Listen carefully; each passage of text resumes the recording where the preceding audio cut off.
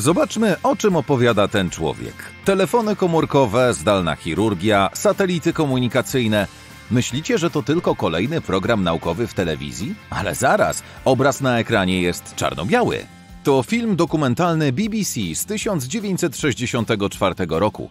Mężczyzna w okularach nazywa się Arthur C. Clarke. Tak, ten sam facet, który pomógł Kubrickowi nakręcić film 2001 Odyseja Kosmiczna. Zwiększacie głośność i nie możecie uwierzyć własnym uszom. Clark opisuje naszą teraźniejszość tak, jakby był tuż obok nas. O czym konkretnie mówi? Świat, w którym możemy natychmiast kontaktować się ze sobą. To oczywiste. Clark miał na myśli aplikację do przesyłania wiadomości. Mówił o tym, jak moglibyśmy skontaktować się z naszymi przyjaciółmi w dowolnym miejscu na Ziemi. A najlepsze jest to, że nie musielibyśmy wiedzieć, gdzie się znajdują. Tak, to brzmi bardzo podobnie do korzystania ze smartfona. Hehe, panie Clark, nie będzie pan nawet musiał znać numeru swojego przyjaciela. Urządzenie zapamięta go za pana. Telefony w latach 60. nie były aż tak zaawansowane. Był to czas, kiedy producenci dopiero zaczynali przechodzić od telefonów z tarczą obrotową do telefonów z przyciskami.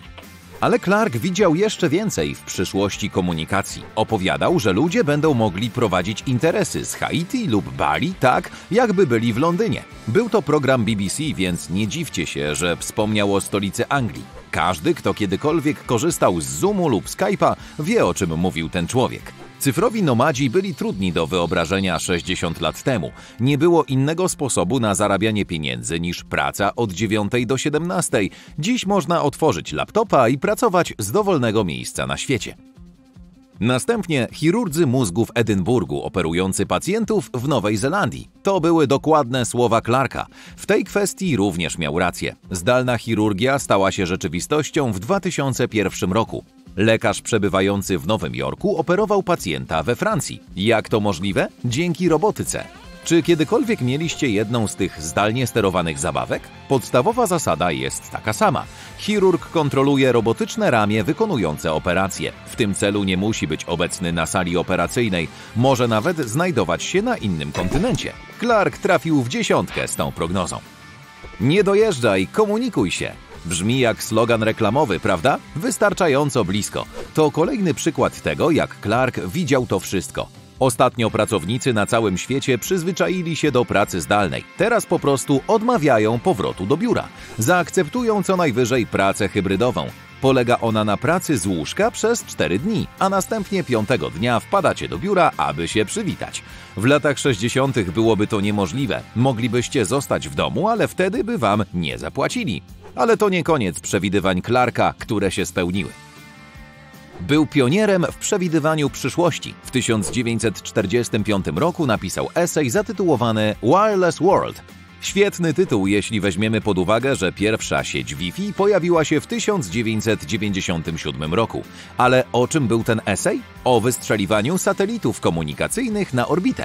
Zaraz, chwileczkę. To było ponad dekadę przed tym, jak pierwszy sztuczny satelita zaczął krążyć wokół Ziemi. Imponujące. No dobrze, ale czy Arthur C. Clarke nie przewidział wynalezienia internetu? Cóż, zrobił to. W 1974 roku opisał urządzenie o nazwie ComSole, które mogłoby znaleźć się w każdym domu. Nie, nie mówił o konsoli do gier. To urządzenie miałoby ekran telewizyjny i klawiaturę maszyny do pisania, a ludzie uzyskiwaliby z niego informacje. Czy to nie jest komputer stacjonarny? Oczywiście, że tak, ale wyjaśnione w kategoriach lat 70.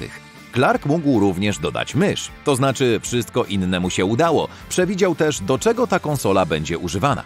Otrzymywanie wyciągów bankowych, rezerwacja biletów do teatru i przeglądanie wiadomości. Dokładnie do tego używamy dziś komputerów i smartfonów. A jak to robimy? Wyszukiwarka Google. Arthur Clarke miał wizję tego, jak powinna wyglądać wyszukiwarka. Czy jest coś, czego ten człowiek nie mógł przewidzieć? Cóż, wierzył, że miasta całkowicie znikną, ale one tylko się rozrastają.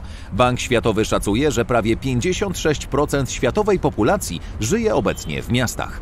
Liczba ta będzie tylko rosnąć w przyszłości. Przepraszam, panie Clark, to było kompletne nieporozumienie. Są też przypadki graniczne. Opowiadał na przykład o replikatorze. Brzmi jak gadżet z kreskówki o króliku Baksie, bo tak właśnie jest. Maszyna, która tworzy natychmiastowe kopie wszystkiego, jest nieco poza skalą. Szczerze mówiąc, mamy dziś drukarki 3D, choć nie są one tak wyrafinowane jak replikator Clarka, ale kto wie, ta przepowiednia może się spełnić za dekadę lub dwie. Brytyjski pisarz nie był jedynym marzycielem tego okresu. Walter Cronkite, amerykański prezenter telewizyjny, również próbował przewidzieć przyszłość. Zaledwie trzy lata po emisji programu Clarka w BBC, Cronkite poprowadził program zatytułowany XXI wiek. Jego celem było pokazanie widzom, jak wyglądałby dom w XXI stuleciu. I te przewidywania były zaskakująco trafne. Zacznijmy od jego wizji salonu. Kolorowy, duży ekran telewizyjny 3D? Jest. Konsola sterująca różnymi gadżetami? Jest. Muzyka odtwarzana z głośników po naciśnięciu przycisku? Tak. Mogę się mylić, ale Cronkite właśnie opisał domowy system rozrywki. Macie ochotę na więcej? Wejdźcie do wyimaginowanej kuchni z 2001 roku. Talerze są wykonane z plastiku. Okej, okay, to było trochę na wyrost, ale nadal można kupić jednorazowe talerze w supermarkecie. W latach 60. tak nie było. Poza tym wtedy trzeba było samemu posprzątać dom lub zatrudnić pomoc. Cronkite i jego goście mieli nadzieję, że to się zmieni. Mówili o małych robotach, które przyjmowałyby instrukcje. Można by je nawet zaprogramować tak, by nie wpadały na ludzi podczas sprzątania domu. I wreszcie te małe roboty nie musiałyby wyglądać jak my. Prawdopodobnie wpatrujecie się teraz w robotyczny odkurzacz stojący w kącie. Porozmawiajmy teraz o pracy. Program wyobrażał sobie domowe biuro z futurystyczną drukarką. Odbierałaby ona dane z satelitów i drukowała nasze gazety. Dziś brzmi to dość naiwnie, należy jednak pamiętać, że pierwsza drukarka laserowa pojawiła się pół dekady po emisji programu. Mówiono również o systemie kamer o zamkniętym obwodzie. Takie systemy domofonowe są dziś w każdym domu. 60 lat temu trzeba było użyć wizjera, aby zobaczyć, kto stoi przed drzwiami. Ale najbardziej tajemniczym gadżetem, o którym wspomina Cronkite, jest elektroniczna maszyna do korespondencji. W programie nie wyjaśniono jego funkcji, ale możliwe, że chodziło o smartfona. W tamtym czasie pilot do telewizora był nowym wynalazkiem, więc ten gadżet wydawał się jeszcze bardziej imponujący. Okej, okay, okej, okay. wszyscy wiemy na co czekaliście. Latające samochody, prawda? Tak, Cronkite zawarł i tę prognozę w swoim innym programie, tym razem o XX wieku. Co jakiś czas pojawiają się wiadomości o startupie technologicznym konstruującym latający samochód, ale za każdym razem okazuje się to niewypałem. Wciąż możemy tylko pomarzyć o przeleceniu nad korkiem. Program z lat 60. miał jednak kilka pomysłów dotyczących samochodów. Nadmuchiwane poduszki? Prawdopodobnie mieli na myśli poduszki powietrzne, ale źle się wyrazili. Cronkite przewidział również system ABS. Producenci zaczęli instalować je w samochodach dekady później. Pomyśleli też o tempomatach i czujnikach ruchu. Śledzenie odległości od poprzedzającego samochodu wydaje się dziś powszechne, jednak w tamtych czasach kierowcy mogli tylko pomarzyć o takiej funkcji. Ile razy słyszeliście, jak wasi dziadkowie mówili, że w ich czasach wszystko było lepszej jakości? Cóż, nie zawsze jest to dobra rzecz. Znaki drogowe były solidne, więc samochód zostałby poważnie uszkodzony, gdyby w nie uderzył.